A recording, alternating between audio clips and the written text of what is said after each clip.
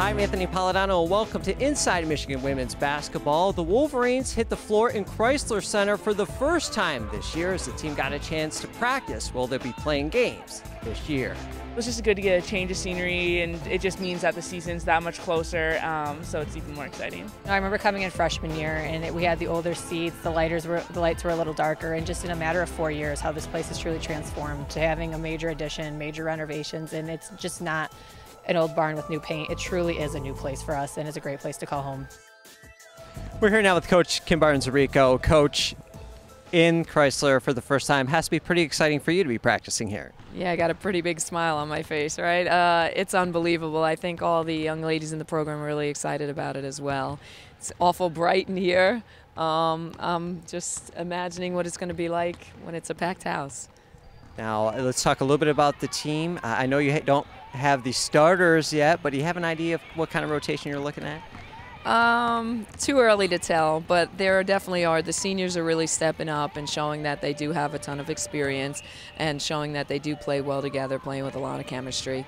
So um, they've shown some great signs along with some of the younger kids. Um, freshman Madison Ristovski's doing pretty well.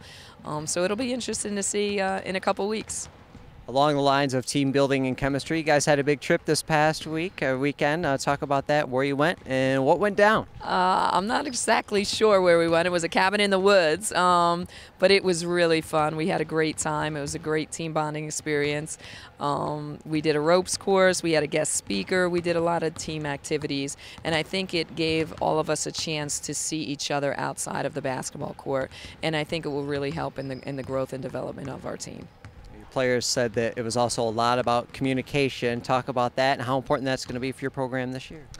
Uh, anytime you take over a program, or even even when you've been in a program for a long period of time, I think to, to be, the ability to communicate is really important, and that's something that we stress on a daily basis with the young ladies. So we're trying to get them to be more vocal, whether that be on the basketball court or off the court. It definitely helps in building relationships. So that is one of our points of emphasis, and they're doing a great job of really buying into that outside in the woods by the campfire. Didn't see any wolverines or anything scary in Michigan. First time here, huh? Not too bad. There was some noise outside my door that night, but uh, I didn't sleep too much. Um, but no, we had a tremendous experience. It was really nice. Something you might try and do every year? Definitely, definitely. Um, I think it really helped our team come together. All right, thanks, Coach. Thanks, Anthony. That's going to do it for this edition of Inside Michigan Women's Basketball. Next week, we preview the 2012 2013 season. For mgoblue.com, I'm Anthony Polidano.